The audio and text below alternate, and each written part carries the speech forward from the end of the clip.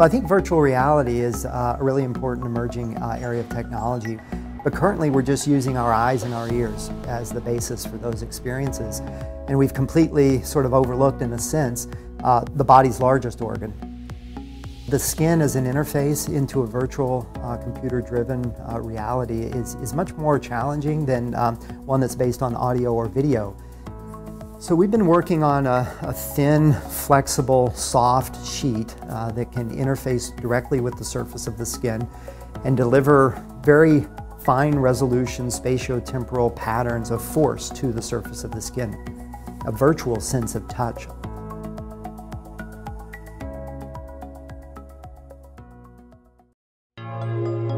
So skin is a fascinating, you know, biological system in a sense. It's bristling with sensors uh, of various types. Uh, the skin forms the basis of all our physical interactions with the outside world. Uh, and I think it really establishes the deepest, most emotional types of contacts between uh, individuals.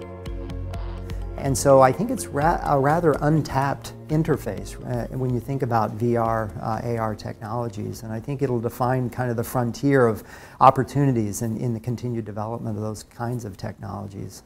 So it really forces you to kind of reformulate electronics to be more biocompatible or skin compatible.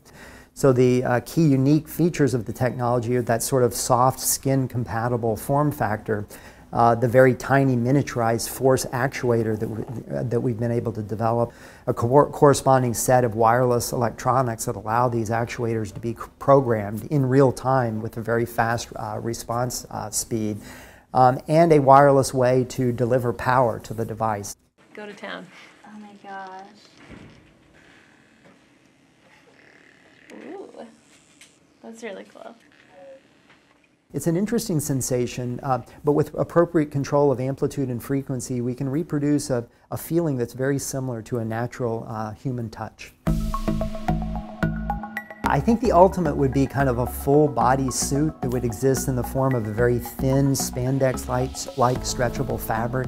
We currently have devices that uh, embed up to 32 of these individual uh, force transducers or these force uh, actuators. Uh, the density of sensory receptors in the skin is much higher than that. So what we would like to do over time is to scale the system. We're pretty uh, excited about this new platform. I think this will represent a very you know, powerful starting point for the continued development of this kind of skin interface that I think will be important for social interactions via, via computer systems. Uh, we think that they're going to be powerful in clinical medicine for guiding uh, sort of uh, refined rehabilitation protocols in the context of stroke survivors and amputees uh, and others. And then for gaming and entertainment, I think there are lots of really exciting uh, possibilities in that space uh, as well. So, so it's really material science driving new technology, uh, spawning a whole array, array of applications that we think are, are going to be really exciting.